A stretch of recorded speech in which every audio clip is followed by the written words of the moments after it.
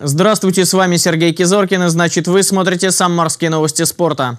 Анастасия Павлюченкова уверенно начала теннисный турнир в Риме. Самарский каноист, серебряный призер чемпионата Европы. Баскетбольные экономисты – пятый в плей-офф чемпионата Суперлиги.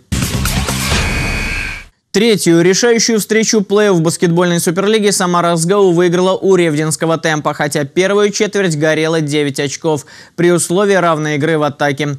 На большой перерыв самарцы ушли уже проигрывая минус 12. Ситуация на табло и на площадке изменилась в третьем периоде. Экономисты попытались свести дебет с кредитом и подобрались вплотную к сопернику 59-61.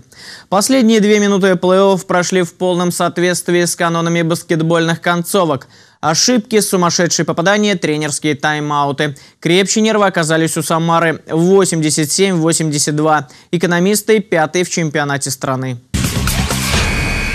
Чехии прошел чемпионат Европы по гребле на байдарках и каноэ. За награды ходили по акватории 800 спортсменов из 40 стран.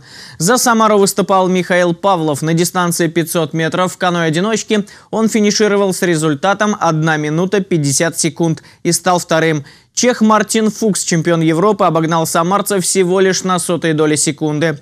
В общекомандном зачете сборная России заняла второе место, завоевав 11 медалей.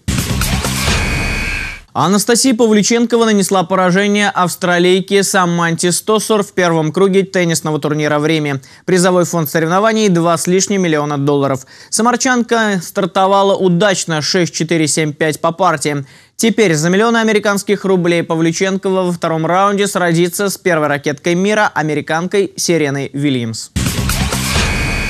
Это были новости спорта от Сергея Кизоркина. Будьте здоровы и занимайтесь физкультурой.